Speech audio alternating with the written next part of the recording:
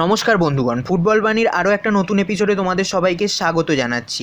আজকে কিন্তু বেশ কিছু আপডেটস আছে, প্রধানত ট্রান্সফার আপডেট আছে আর আগে যে বলেছিলাম সন্দেশ ঝিঙ্গানকে নিয়ে শনিবার দিন একটা লাইভ টক শো হতে চলেছে ফেসবুকে তো সেই টক শোতে কী আলোচনা হলো বা সন্দেশ ঝিঙ্গান কী কী বিষয়ে মেন কথা বললেন সেগুলো নিয়ে আলোচনা করব। আর লাস্টে কিন্তু মোহনবাগান এটিকেকে নিয়ে একটা আপডেট আছে। একটা নয়, বলতে গেলে দুটো আপডেট আছে। সেই দুটো আপডেট তোমাদের সাথে শেয়ার করে নেব। তো এই টপিকগুলোই আজকে কভার করব। আর যারা এই চ্যানেলে প্রথমবার এলে আর ভারতীয় ফুটবল তথা ফুটবলকে ভালোবাসো, তারা অবশ্যই চ্যানেলটাকে সাবস্ক্রাইব করে নাও। আর যারা ভালোবাসানো তারাও সাবস্ক্রাইব করে নাও। তাদেরকে ভালোবাসানোর দায়িত্ব আমাদের। তো চলো আর বেশি কথা না বাড়িয়ে সরাসরি ভিডিওতে যাওয়া যাক।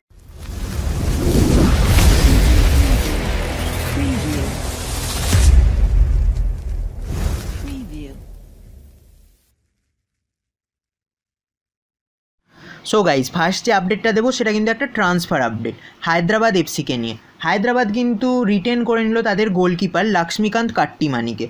লক্ষ্মীকান্ত কাট্টিমানিকে তোমরা আশা করছি চেনো। আইএসএলে এফসি গোয়ার হয়েই কিন্তু খেলেছেন এই লক্ষ্মীকান্ত কাট্টিমানি। এফসি গোয়ার হয়ে প্রায় আটত্রিশটার ওপর ম্যাচ খেলেছেন। তো অনুভব আছে, আর আগের সিজনেই হায়দ্রাবাদ এফসিতে গিয়েছিলেন। তো এই হায়দ্রাবাদ এফসির হয়ে কিন্তু আগের সিজনে পারফরমেন্স সেরম করতে পারেননি। চোটের কারণেই বেশিরভাগ ম্যাচ মাঠের বাইরে কাটাতে হয়েছে এই লক্ষ্মীকান্ত কাট্টিমানিকে। চারটে ম্যাচ ম্যাচের সুযোগ পেয়েছিলেন, কিন্তু খুবই খারাপ পারফরমেন্স ছিল বলতে গেলে। তো সেই কারণেই হায়দ্রাবাদ এফসির হয়ে আগের সিজনটা খারাপই গেছিল এই লক্ষ্মীকান্ত কাট্টিমানির। কিন্তু আবার হায়দ্রাবাদ তাকে সুযোগ দিল এবং তাকে রিটেন করে নিল পরের সিজনের জন্য। এইটা একটা ট্রান্সফার আপডেট উঠে এসেছে। আর যদি লক্ষ্মীকান্ত কাট্টিমানির সম্পর্কে বলতে চাই তো একত্রিশ বছর বয়সী ভারতীয় গোলকিপার তোমরা আশা করছি চিনবে। আর প্রধানত আইএসএলে এফসি গোয়ার হয়েই খেলেছে যেটা বললাম।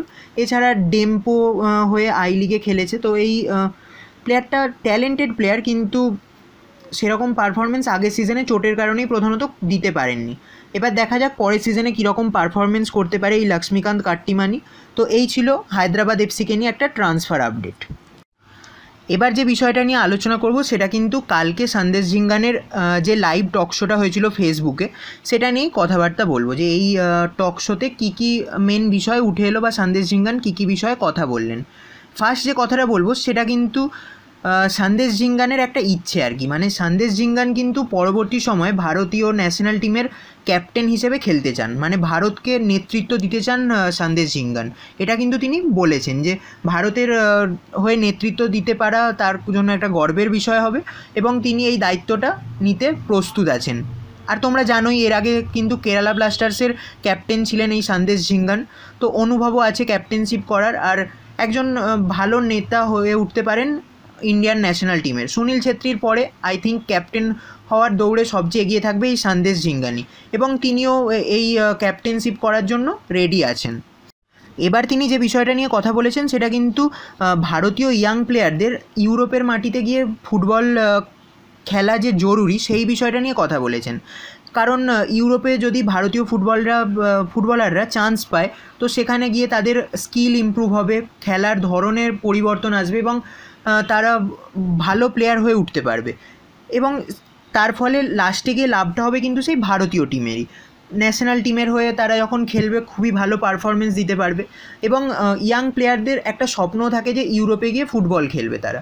তো এই সুযোগটা কিন্তু তৈরি করতে হবে। ধীরে ধীরে ইনফ্রাস্ট্রাকচার তৈরি করতে হবে যাতে ভারতের ইয়াংস্টার প্লেয়াররা বিদেশের মাটিতে গিয়ে ফুটবল খেলতে পারে বা ইউরোপের বিশেষত লালিগা ইংলিশ প্রিমিয়ার লিগ, এই সব জায়গায় গিয়ে যাতে ভারতীয় ফুটবলাররাও খেলতে পারে। তো এই বিষয়টা নিয়েও কিন্তু কালকে কথাবার্তা বলেছেন সন্দেশ ঝিঙ্গান।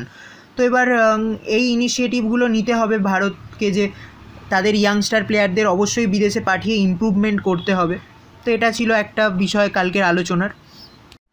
আর একটা মেন বিষয় যেটা নিয়ে আলোচনা হয়েছে, সেটা কিন্তু সন্দেশ ঝিঙ্গান পুরো বলেছেন, আমি কোটটাই করছি তোমাদের সাথে বাংলায়, যে তিনি কিন্তু বলেছেন যে পরের মানে বিভিন্ন যেমন প্রিমিয়ার লিগ বুন্ডেস লিগা লা লিগা এগুলো যেমন ক্লোজ ডোরে ম্যাচ শুরু হচ্ছে ধীরে ধীরে। ভারতের সিজনটাও মানে ইন্ডিয়ার যে নেক্সট সিজন সেটাও শুরু হতে চলেছে। এরকমইভাবে শুরু হবে মানে ক্লোজ ডোরেই ম্যাচগুলো হবে।